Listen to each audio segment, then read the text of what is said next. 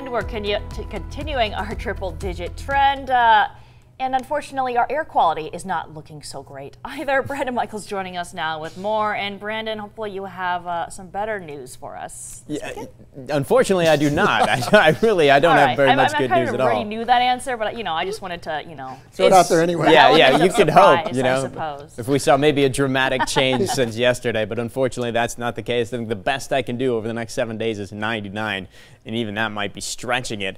Heat advisory remains in effect through our Saturday for the Valley and the Kern River Valley and all up the Central Valley. So there's a lot of heat to track still in the state. If you want to beat that heat this weekend, you're to, going to have to get to the coast. We are going to be staying dry, though. For the most part, that's been the case today as well. Satellite radar showing the monsoon very active to our east.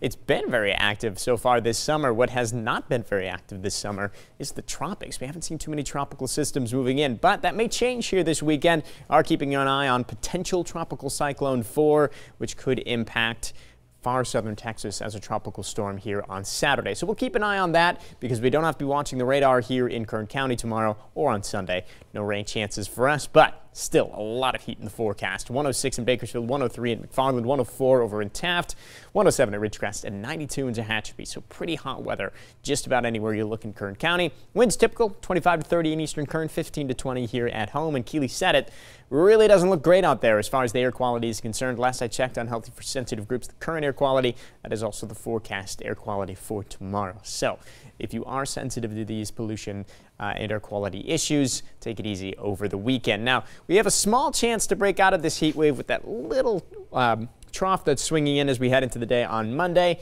That's going to be really the best chance we have over the next seven days to stay cooler, and it's really not that great of a chance.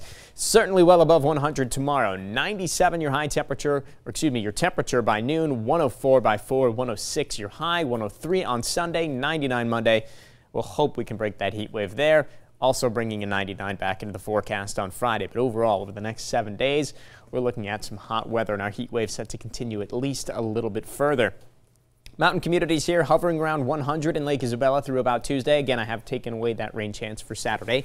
Right around 90 degrees for Tehachapi and Frazier Park Saturday and Sunday. Temperatures do seem to fall off a little bit for the end of the forecast, and we have brought back some minor rain chances Thursday into Friday. But overall, that rain chance doesn't look very good. Just that occasional isolated shower or thunderstorm looking like a sure thing that we're tracking triple digit heat that is widespread across Kern County for the next several days.